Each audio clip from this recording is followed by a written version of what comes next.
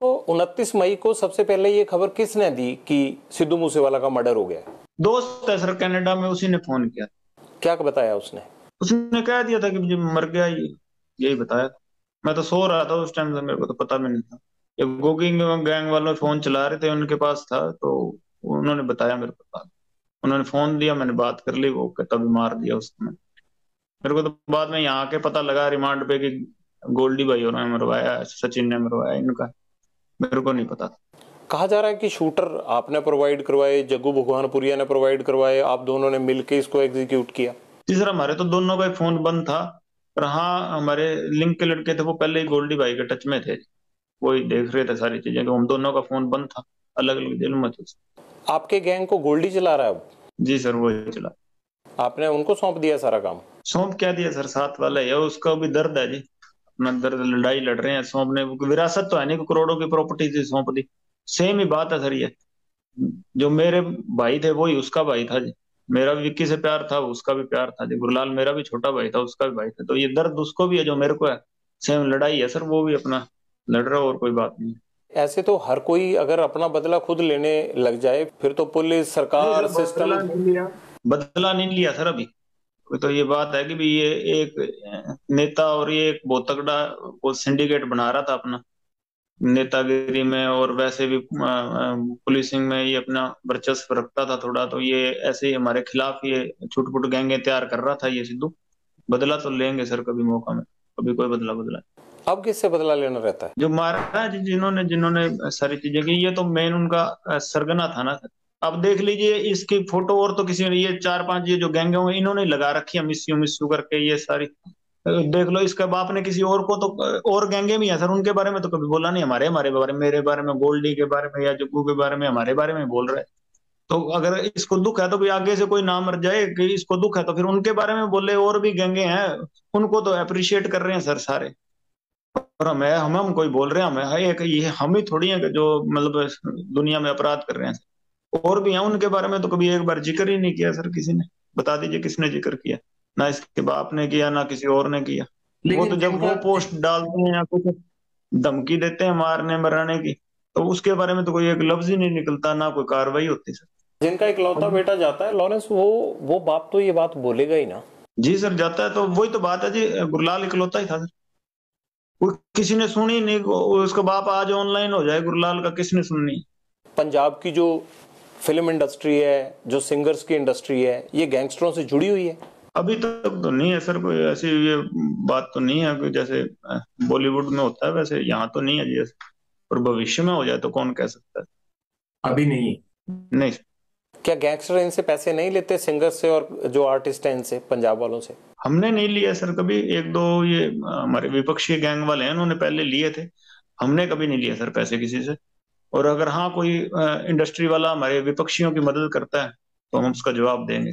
आपके विपक्षी कौन है? बम्बिया ग्रुप हाँ जी सारी गैंगे विपक्षी हैं जी। जो ऑल ओवर इंडिया हम देखें जितना मैंने पढ़ा है अभी तक सारा रिकॉर्ड आपका मूसेवाला मर्डर केस के बाद दस गैंग आपके साथ है पाँच आपके खिलाफ है। तो आपकी गैंग तो बड़ी हुई ना? बड़ी तो क्या है सर?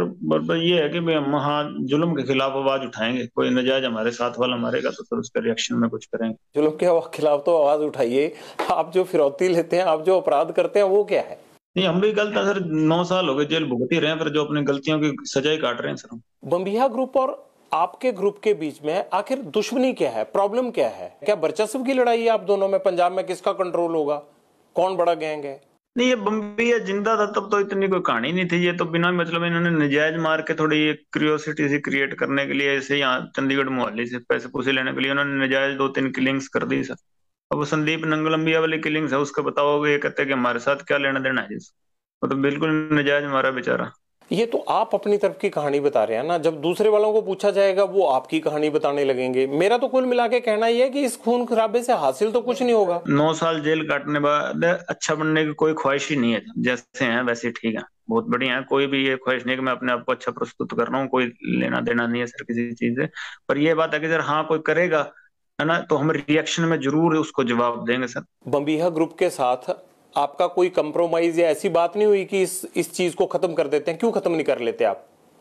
बॉम्बे में भी होता था अंडरवर्ल्ड वो एरिया बांट लेते थे। एरिया वाले कोई लड़ाई नहीं है सर एरिया की।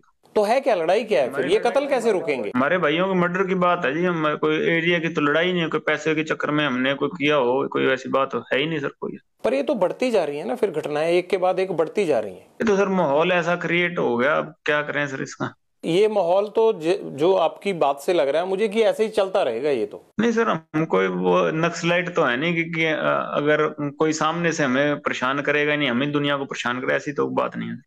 कोई हमें परेशान ना करे हम किसी को कोई परेशान नहीं करें। के मर्डर से पहले बताइए सर कौन सी गैंगवार हमने की है कहीं पे? नहीं गैंगवार तो नहीं की है लेकिन पहले भी फिरौतियाँ तो चलती थी। उससे पहले फिरौती का एक केस भी नहीं है पंजाब में। आपके ऊपर पैंतीस चालीस केस दर्ज है यहाँ पे। नहीं सर फिरौती का नहीं है जी यहाँ पंजाब में कोई भी केस। मैं आपको रिक्वेस्ट करता हूँ कि आप लोग सुधर क्यों नहीं जाते? अच्छे पढ़े लिखे हो क्यों ये सब चीज़ें छोड़ नहीं देते? ठीक है सर आपने रिक्वेस्ट की सुधर जाते हैं बाकियों को सुधरवा दीजिए। अब पूरे सृष्टि का तो आप बाहर उठा नहीं सकते सर। आप एक आदमी को इन्फ्लुएंस कर सकते हैं ना जो माहौल ही बिगड़ बना पड़ा है सर यहाँ आप सबका जिम्मेवारी थोड़ी उठा सकते एक आदमी आपकी बात मान लेगा। आप मान लोगे? जी सर। मान लेता हूँ आपकी बात। और फिर आप ये गारंटी दे दीजिए कि आप क्योंकि आपके साथ कभी कोई गलत नहीं होगा। हम तो सर गेम नहीं है जी गेम का एक हिस्सा हूँ, मैं भी हूँ हिस्सा। अब तो बहुत बड़ी चीज़ है सर, मैं वो बात नहीं करता। लेकिन गेम बड़ी है जी, ये ऐसी चलती रहेगी। भगत सिंह की टी शर्ट पहनते हैं। मैंने देखा कोर्ट में जब आप जा रहे थे, पुलिस अफसर बताते हैं कि आप हनुमान चालीसा का पाठ करते हैं। ब्रह्मचार का जीवन जीते हैं, अनाज नहीं खाते आप। ये बड़ी अच्छी चीज़ें हैं। लेकिन इनका कहीं भी, आप बताइए कि अपराध के साथ तो कोई मेल ही नहीं है। तो आपका मेल अपराध के साथ कैसे हो गया? टी शर्टें पहनते थे। भगत सिंह जी की टी शर्टें पहनते थे सर पुलिस वालों ने पहनना बंद करवा दिया जी। तारीख में पहन नहीं देते थे। और कोई, मैंने देखा नहीं, कोई बड़े आदमी पहनते हैं टी शर्ट हम पहनते थे, सारे हमारे, सारी गैंग ही पहनती थी सर पहले। फिर हमें उतरवाने लग गए सर। तारीख पे जाते थे, वहाँ पहनने नहीं देते थे। अच्छा बुरा बोलते थे हमने, क्या करें सर, जेल में पहनते हैं, बाहर नहीं पहन के जाते जी। बाकी अपराध की बात ऐसे है सर कि भाई सराउंडिंग से विचार शुरू शुरू में ऐसे बन गए कि भी कोई लड़ाई झगड़े हो ही जाते हैं सर स्टूडेंट लाइफ में। तो मैं उस केस में अंदर गए थे सर। बाद में जब अन्याय हुए तो उसके खिलाफ सर हम लड़े हैं। पता करा लीजिए मैं जब गया था तब गैंगस्टर का मेरे पे आप अखबार निकाल लीजिए सर 2014 में गया हूँ कोई कोई गैंगस्टर नहीं लिखा हुआ था स्टूडेंट ही लिखा था। तो ये अंदर ही गैंगस्टर बने अब आतंकवादी भी लिखने लग गए और अभी और भी कुछ लिख देंगे मैं तो स्टूडेंट ही गया था अब अंदर बैठे बैठे जो मर्ज़ी बना दे। न्यूज़ न्यूज़ में निकल निकल जाएगा। मैं तो स्टूडेंट ही लिखा था मैं जब गया था। तो अभी ये बन ये चीज़ें बन रही हैं सर। ये माहौल ही ऐसा बन गया। ये मतलब एटमोसफियर ऐसा चल रहा है कि फ़िलहाल कि मैं कोई स्पष्टीकरण नहीं दे रहा सर। हाँ जैसे आ, आपको ज़्यादा पता है जो लिख रहे हैं भाई मेरे से ज़्यादा एजुकेटेड है। पर ये बात है कि सर मैं कोई स्पष्टीकरण दे रहा हूँ कि हाँ भाई किसी मजबूरी में बने होंगे सर अपराधी। शुरू में कि फिर अब आ, हम अपने साथ वालों का बदला ले रहे हैं आपको कभी पछतावा होता है कि मैं एक लॉ ग्रेजुएट होने के लिए चंडीगढ़ आया और कहा मैं अब तिहाड़ जेल में रहता हूँ? मेरा मेरे को गैंगस्टर कहा जाता है मेरे को आतंकवादी कहा जाता है। पछतावा नहीं होता इस चीज़ का? जो प्रभु की मर्ज़ी है ठीक है जी सर। अच्छा लगता है थ्रू वो अपने काम कर रहा है। नहीं लगता सर कि भगवान की जो रचना उसको क्वेश्चन नहीं करते सर। जो उसने कर दिया ठीक है। उसने कुछ और सेवा लेनी होगी हमसे। जब गैंगस्टर बोलते हैं या पढ़ते हो या मोबाइल फ़ोन है तो सुन ही लेते हो तो बुरा नहीं लगता कि यार गैंगस्टर बोलते हैं हमें? नहीं सर कुछ नहीं बुरा लगता। जो पहचान भगवान ने दे दी उसका बुरा नहीं मनाते। आपके नेटवर्क में इस वक्त? देश में कितने लोग काम कर रहे होंगे कितने लड़के काम कर रहे हैं और वो, वो लड़के आपको जानते भी हैं या नहीं जानते हैं? कैसे कल्टीवेट करते हो उनको? ये छोटे छोटे लड़के जो इसमें सिद्धू मूसे वाला केस में थे छोटे छोटे लड़के हैं एक सतारह अठारह साल का लड़का है। जान पहचान काफ़ी होगी पर हम कहते हैं जो हमारे जान पहचान के सारे अपराधी होंगे ऐसी बात नहीं जान पहचान तो शायद देश के हर कोने में होगी। और वो सारे ही अपराधी हैं ये चीज़ तो जस्टिफाइड नहीं है सर। जहाँ लिख देते हैं कि एक हज़ार शूटर हैं तो एक हज़ार लोग हमारे साथ जुड़े हैं सर सारे शूटर तो नहीं हो सकते। आपसे पूछ रहे हैं ना आप ही बता दीजिए कितने लड़के हैं इसीलिए पूछ रहा हूँ ना। जी सर हमारे टच में है यहाँ अगर अन्याय होगा तो हथियार ज़रूर उठा लेंगे पर सारे अपराधी नहीं। कितने लड़के काम करते हैं आपके लिए? काम नहीं करते सर जान पहचान है दोस्ती है। वो जो भी काम करते हैं आप उनको बोलते हो हमारी हमारी भाषा में उसको अपराध बोलते हैं। उस अपराध के बदले में उनको क्या मिलता है? दिल से दोस्ती है और तो कुछ नहीं है सर। कभी पैसे पूछो के लिए ना किसी को पैसे देकर क्राइम करवाया है और ना पैसे देकर क्राइम करने की भी सोची है सर। हरविंदर रिंडा से क्या लिंक है आपके? कोई लिंक नहीं है सर मैं कभी मिला ही नहीं हूँ उससे। मेरे को उसके साथ जोड़ दिया मैं कभी मिला ही नहीं अपनी ज़िंदगी में नहीं मिला हूँ। मैं जेलों में ज़रूर रहा हूँ पंजाब की 2017 के बाद तो पंजाब की जेलों में मैं रहा नहीं हूँ। मैं राजस्थान चला गया था सर। और उससे पहले जब मैं पंजाब की जेलों में रहा हूँ मेरी कभी मुलाकात नहीं हुई। कभी बहुत है कौन है कौन वो आपको पता है ना? जी सर पहले यहाँ पंजाब में गैंगवारी में था और हमारे अपोजिट ग्रुप में सपोर्ट किया करता था। और कोई हमारा कोई लेना देना कभी मेरा उससे केस नहीं अब उसके साथ मेरे को जोड़ रहे हैं। मेरा कोई कोई केस ही नहीं लगा सर उसके साथ। आपसे मुलाकात है उसकी कोई या नहीं? कभी ज़िंदगी में मेरी मुलाकात नहीं हुई। कभी कोई जेल में भी मुलाकात नहीं हुई ना बाहर हुई ना जेल में हुई कभी मुलाकात नहीं हुई मान लीजिए कि आप जेल में ही रहते हैं आपका गैंग कौन चलाएगा आगे? गोल्डी सर। आपको लगता है गोल्डी सक्षम है? नहीं सक्षम होगा तो सर आ, क्या कर सकते हैं? पर भरोसा है सर। और गैंग नहीं है सर ये है कि हमारे दर्द है आपस में और एक ही तरह का दर्द है। आपको पता है ना गैंगस्टर की ज़िंदगी में गोली ही होती है चाहे वो विरोधी गैंग की हो चाहे पुलिस की। बावजूद उसके आप इस चीज़ को लगातार कंटिन्यू कर रहे हो कंटिन्यू कर रहे हो। नहीं सर हम गलत हैं हमें हम अपनी सजा भुगत रहे हैं।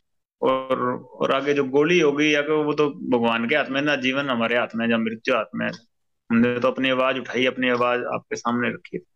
मुझे लॉरेंस का मकसद नहीं समझ आया कि हर आदमी का एक एम होता है। आपका एम क्या है? कुछ नहीं है सर एम कि हमारे भाई मरे हैं। सर उससे पहले यहाँ कोई गैंगवारी में हमने किसी चीज़ में ये माहौल नहीं खराब किया। ये देखे चाहे ये ड्रग्स का है कभी ड्रग्स का हो गया या कोई टेररिज्म का हो गया क्या क्रॉस बॉर्डर होगा कभी एक बार भी लिंक नहीं सर कभी ज़िंदगी में पाकिस्तान बात नहीं हुई मेरी तो। है हमने ये माहौल नहीं खराब किया। जब हमारे ऊपर हमारे भाइयों का मर्डर ही होता जा रहा क्या करेंगे सर? आपके परिवार पर कभी आप भी आवाज़ तो उठाओगे, कमज़ोर से कमज़ोर आदमी घर छोड़ जाता है सर इस चीज़ में। पहले मेरे बुआ जी के लड़के को नहीं गैंगस्टर थे या ये गुंडर गुंडर इन्होंने मेरी बुआ जी के लड़के को मरवा दिया था सर, इनके गैंग के थे। और उसके बाद ये चुटाला में एक डबल मर्डर हुआ था मेरे साथ वालों का ये लगातार ये हो ही रहे थे, ये दविंदर गैंग वाले हो गए या कभी कोई हो गई या न्याय ही हो रहा था सर। उसके बाद हम चले।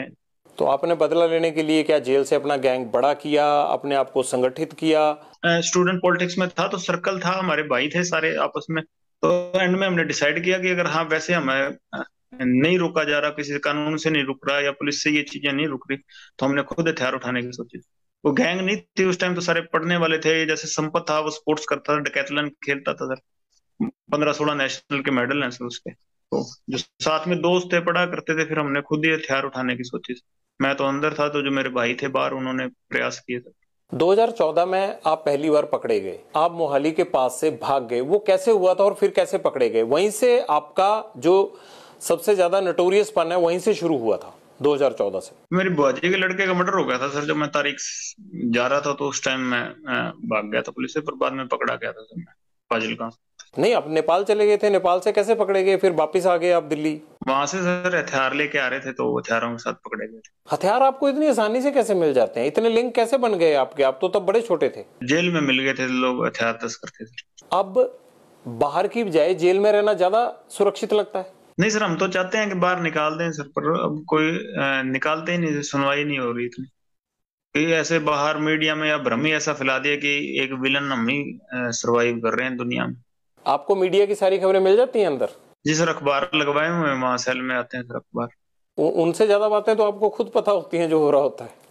अखबारों में तो उतनी चीज़ें छप ही नहीं पाती हैं। जी सर फ़ोन चल रहा हो तो भी और ना चल रहा हो तो फिर अखबारों वगैरह से पता लग जाता है सर। लॉरेंस राजनीति में आना चाहता है? नहीं सर कभी नहीं आया।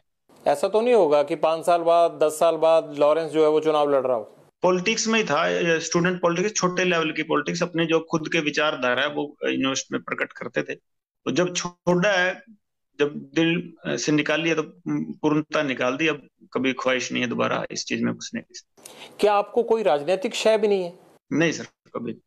किसी पार्टी की कोई शय नहीं है? सर मैं जब गया था तब इतनी कोई थी नहीं चीज़ की कोई शय देने वाले। हम तो नॉर्मल लड़ाई झगड़े में तीन सौ सात के केस में अंदर गया था सर। मैं अब, चार पाँच केस थे मेरे पे।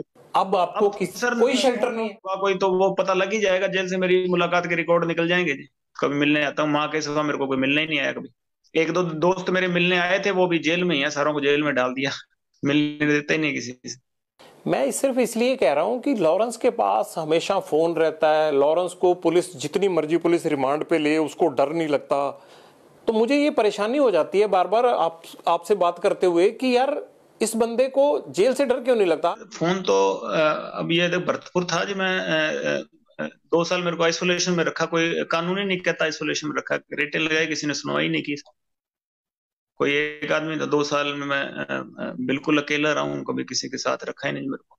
रिटर्न लगाई कभी ह्यूमन राइट्स की सुनवाई नहीं कोई मुलाकात करने आता तो केस डाल देते थे। तो सारों पे केस डालना भी जेल में मिल जाएँगे सारे आप। फिर अपराध भी करेंगे लोग। पर इतनी कनेक्टिविटी आपकी आपको कोई सवाल नहीं पूछता और मुझे तो ये हैरानी हो रही है कि अब भी आपको कोई नहीं पूछेगा कि आप इंटरव्यू दे रहे हैं जेल से ऐसे कैसे दे रहे हैं? बहुत रिस्क लेके और आपके सामने बात रखना चाहते थे कि हमें एक ही साइड नहीं कोई हमारी भी साइड सुन ले और कोई सुन ही नहीं रहा था सर।